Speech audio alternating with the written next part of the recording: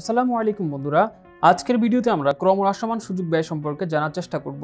ক্রমহ্রাসমান এই সুযোগ ব্যয়ের ইংরেজি প্রতিশব্দ হচ্ছে ডিমিনিশিং অপরচুনিটি কস্ট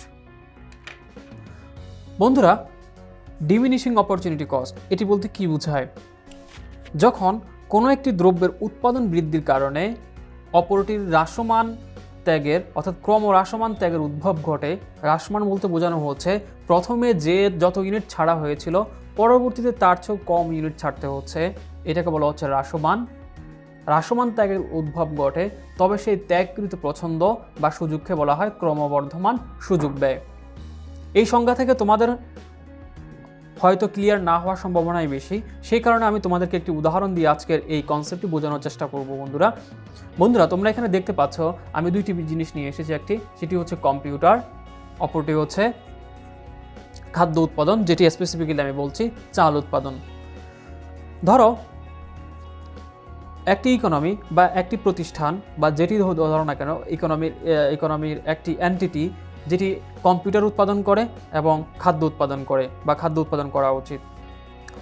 তো এই ক্ষেত্রে যখন কম্পিউটার উৎপাদন বাড়ানো হচ্ছে, সেই ক্ষেত্রে তার খাদ্যের উৎপাদন কিন্তু কমাতে হচ্ছে। অথবা আমরা এভাবেও বলতে পারি, যদি খাদ্যের উৎপাদন বাড়াতে হয়, কম্পিউটার উৎপাদন সেক্ষেত্রে ছাড়তে হয়। এবং এখানে যে পিপিএফটি দেখতে পাচ্ছ, সেটি টিপিক্যাল পিপিএফ অপেক্ষা একটু ভিন্নতর। এটি ডাউনওয়ার্ড বা নিম্নগামী এবং এটি হচ্ছে উত্তল আকৃতির। এটিও এখানে এ বিন্দু বি বিন্দু সি বিন্দু তোমরা দেখতে পাচ্ছ। চলো এটি বুঝে নেওয়া যাক, এটির মানে কি। বন্ধুরা, যখন পনেরো ইউনিট বা পনেরো টন খাদ্য উৎপাদন করা হচ্ছে, সেই ক্ষেত্রে দুইটি বা দুই ইউনিট কম্পিউটার উৎপাদন করা সম্ভব হচ্ছে। যখন উৎপাদক চিন্তা করলেন যে তার কম্পিউটারের উৎপাদন বাড়ানো উচিত, অর্থাৎ কম্পিউটার উৎপাদন তার দুই থেকে শুরু করে টেন ইউনিটে নিয়ে যাওয়া উচিত প্লাস এইট ইউনিট বাড়ানো উচিত, তখন ওই উৎপাদক তার যে রিসোর্স রয়েছে সেই রিসোর্স রিসোর্সের রিঅ্যালোকেশন করলেন এবং রিঅ্যালোকেশন করলে তিনি দেখলেন যে তার বি ইউনিটে উৎপাদন করা সম্ভব। এর জন্য তাকে ফাইভ ইউনিট অথবা ফাইভ টন রাইস উৎপাদন কমাতে হচ্ছে।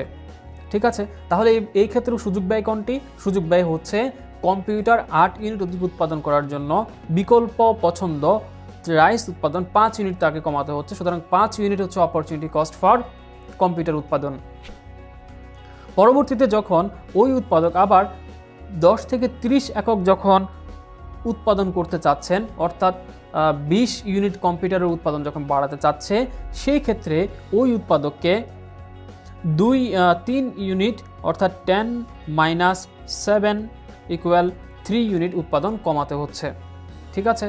তাহলে আমরা দেখতে পাচ্ছি বিশ ইউনিট উৎপাদনের জন্য তাকে তার চেয়েও কম হারে, অর্থাৎ পূর্বের চেয়েও কম হারে তাকে উৎপাদন কমাতে হচ্ছে। তাহলে পূর্বে ছিল ফাইভ এখন হচ্ছে থ্রি থ্রি আর এই ক্ষেত্রে তার উৎপাদন বাড়ানোর যে এক কম্পিউটারের যে উৎপাদন বাড়াতে হবে, সেটি প্রথমে ছিল প্লাস এইট পরবর্তীতে ছিল হচ্ছে প্লাস টোয়েন্টি তাহলে আমরা দেখতে পাচ্ছি তার যে ছাড়ার হারটা, সে ছাড়ার হার বা ত্যাগ করার হার ধীরে ধীরে কমছে। প্রথমে ফাইভ ইউনিট ছিল, পরবর্তীতে তিন ইউনিটে এসেছে। এই যে ক্রমান্বয়ে হ্রাস পাচ্ছে তার ত্যাগ করার হার এইটিকে বলা হচ্ছে ক্রম হ্রাসমান সুযোগ ব্যয়। ক্রম হ্রাসমান সুযোগ ব্যয়। আর ক্রমবর্ধমান সুযোগ ব্যয় কখন বলতাম? যদি তার এ ছাড়ার হারটা ধীরে ধীরে বৃদ্ধি পাচ্ছে, অর্থাৎ প্রথমে পাঁচ ছিল, পরবর্তীতে আট, পরবর্তীতে আরও দশ, এভাবে যদি বৃদ্ধি পেত, তাহলে আমরা বলতাম যে এটি হচ্ছে ক্রমবর্ধমান সুযোগ ব্যয়। আর এটি যেহেতু ধীরে ধীরে হ্রাস পাচ্ছে, এটি ক্রমবর্ধমান নয়, এটি হচ্ছে ক্রম হ্রাসমান তাহলে এই ভিডিও থেকে আমরা বুঝতে পারলাম যে ক্রম হ্রাসমান সুযোগ ব্যয় বলতে কি বোঝায়? আশা করি তোমরা ক্রমহ্রাসমান সুযোগ ব্যয় বুঝতে পেরেছ। ধন্যবাদ সবাইকে।